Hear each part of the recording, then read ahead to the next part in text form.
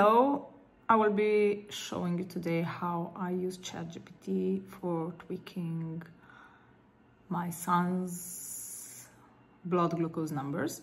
Uh, he's using a combination of Android A, APS and Xdrip. So lately I've been noticing his blood sugars, he's in puberty, so his blood sugars would go up and down and the the need of glucose is changing day like weekly so we really need to adapt quickly so um, but i have not been doing that for quite a while since puberty just started so um, then i forgot a lot about how to use aaps and thanks God we have ChatGPT this time and I, it, it was a huge help. So I would really like to share with you how I use it.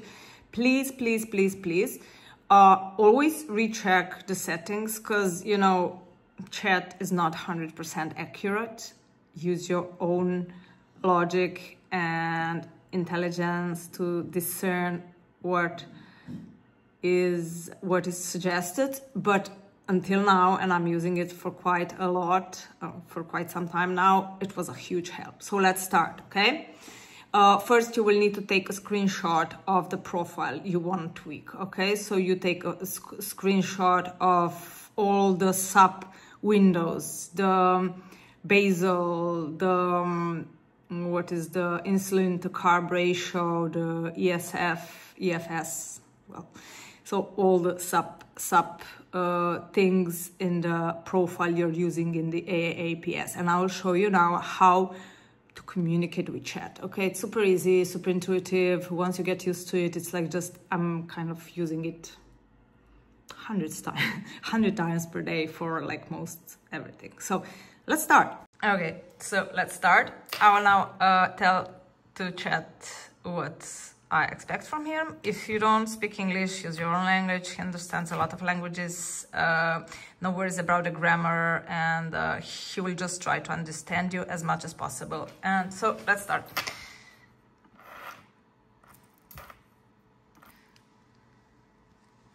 Hey, chat.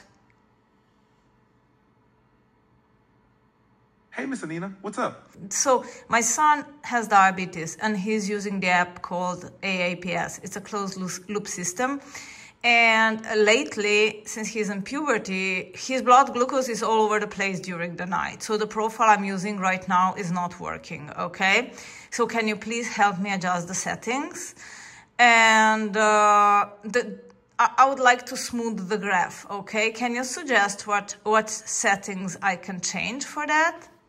I will upload the pictures, okay? Got it. To tweak the AAPS settings, we can adjust basal rates, insulin sensitivity, or carb ratios. Upload the graphs so I can see the patterns and suggest specific changes.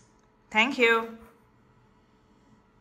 You're welcome. So okay, so let's go now to upload files from your computer. So it's easy like that to, to talk with chat. Uh, let's just upload the, the, the things. So I have this. Oh my God. I can't use the um, upload. I'll do it one by one. And then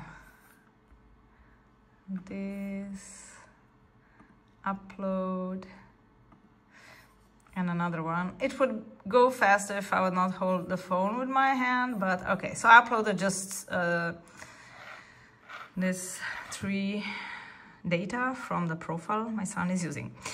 Uh, so I've already done this, okay? And this graph that I'm uploading was not really bad, but so uh, anyway, let's just do it so you understand how you can do it, okay?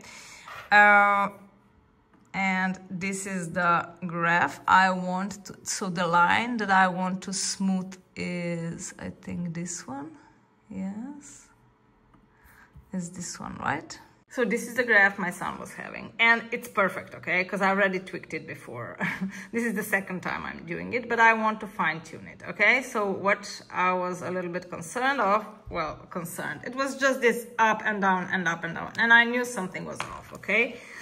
And so, yeah, and probably a lot of you will know that probably EFS, it's kind of to tweak, but still, you know, sometimes you don't remember, sometimes you're not sure what to do, and it's just good to have a kind of know-it-all uh, helper that will just analyze the graph and remind you of the settings you, you can use, okay?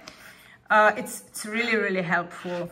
Um, so I've been uploading these pictures, okay? And let's see what he will suggest. We're waiting. Um, oh my God. Okay, I will not read this now, but as you can see, he gave me a cool analysis of the current settings overview. And you can also make it say it out loud, okay? But I will just show you since.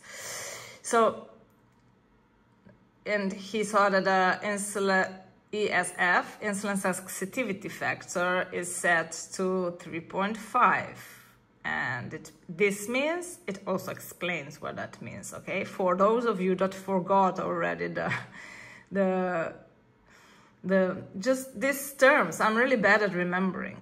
Then is the insulin to carb ratio you know and then is the basal rate. Uh, so he would just suggest here is the nighttime segment in particular because the nighttime segment is what I'm interested to, to tweak because it was going so up and down. And night sky, scout observation graph uh, from 7 to 6 a.m. And there was this multiple waves of moderate low, dips around midnight, trend, Suggestions for the fine tuning, okay? In AAPS, he said, go to ESF table and just add a new row from this period, 11 p.m. So he suggests to upper a little bit ESF in this period because the corrections were too aggressive, right? Consider slightly basal reduction because it was falling down a lot. So he just suggests and you can check your settings and, and compare, you know. So if they're too aggressive, just don't do it.